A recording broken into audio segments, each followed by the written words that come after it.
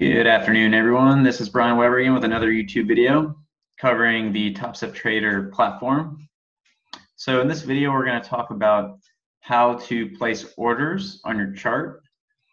And this could be preferred if you don't use the DOM, the depth of market on the right-hand side here to place your orders.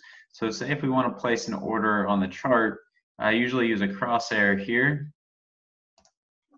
So that way I can kind of see on the right-hand side on the y-axis what price I'm at. And then all you have to do is simply just click the left. You can either click left or right mouse button, and then you can do a buy limit. The market's not open right now, so this won't work.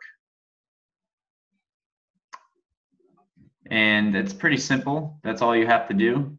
And once you have the order there, um, I can actually show you in a replay really quick just to show you Let's just go back in time.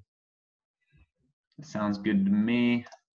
So here we go. I went back on this past Tuesday, starting at the 3 p.m. Pacific Standard Time reopen. So we can see that the market's open right now. So if I wanted to enter an order on the chart, say I want to buy this market structure here, I can just left click, do a buy limit and you can actually see it here on the chart. And if I want to move it, you'll see all your live orders on the right hand side on the, the vertical axis on the price chart. If I want to move it, I just left click, hold it down, and then slide it where I want to put the order. Say I want to move it all the way up here to 2900 and I let go, and then that will update the order. So it's pretty simple.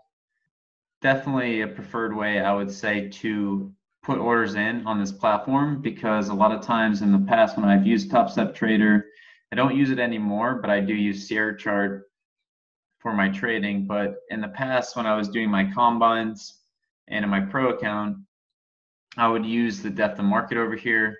And a lot of times when there's a volatility and the price is moving quite quickly, you can accidentally click the DOM and get filled on an entry that you don't want to be filled at because this DOM likes to recenter itself um, every time it moves out of plane. And it's a problem that I've told Top Step Trader many times is that they should give us the ability to turn off this auto center because I've read multiple counts, multiple stories of people accidentally clicking to get in on a trade, say somewhere here, and uh, the DOM will recenter, and move down, and you ended up buying, hitting a buy stop. And since you left clicked, you automatically were filled um, at market on that trade.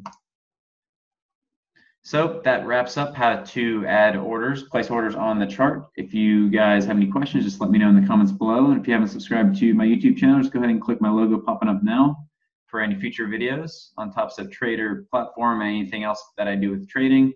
And I uh, hope you guys have a wonderful day. Talk to you soon. Bye.